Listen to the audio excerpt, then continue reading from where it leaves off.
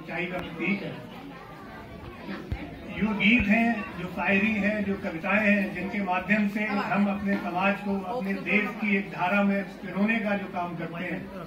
और उन्हीं शायरियों से उन्हीं गीतों से उन्हीं यहाँ प्रदर्शन से जो हम आज यहाँ उपस्थित हुए हैं ये हमें एक भारत भूमि के साथ इस माटी को अपने मस्तक पर चंदन समेत लगाने का जो गौरव प्रदान करती है।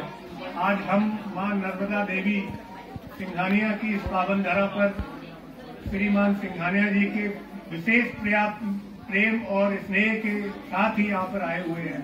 ऐसे सिंघानिया जी को, उनकी माता जी को बहुत बहुत नमन करता हूँ और प्रोबीसी सर उमाशंकर यादव यादव जी अपने पितातुल भूपिंदर जी, जो मुख्य अतिथि वो चले गए हैं, उनको भी नमन करता हूँ। प्रिंसिपल मैडम इकबा मैडम का बहुत बहुत आभार, जिन्होंने एक छोटे से समय में इतना अच्छा कार्यक्रम ऑर्गेनाइज कर रहे हैं। छोटी छोटी बच्चियों को देख के ऐसा लगता है कि इनमें कोई देवी या देवता का वास है।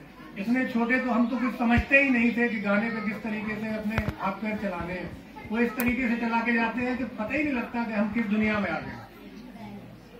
विजेंद्र सर, नीरज सर, और रजिस्ट्रार साहब अभी बाहर व्यवस्था संभाल रहे हैं, वो यहाँ से वहाँ चले गए बंसल जी और सभी हमारे साथीगण और प्यारे बच्चों, आपकी उपस्थिति ही हमें एक प्रेरणा प्रदान करती है। आपकी हर प्रस्तुति हमें अपना सर उठाने के लिए प्रेरित करती है। ऐसी हर प्रस्तुति को सच सच नमन बहुत बहुत धन्यवाद।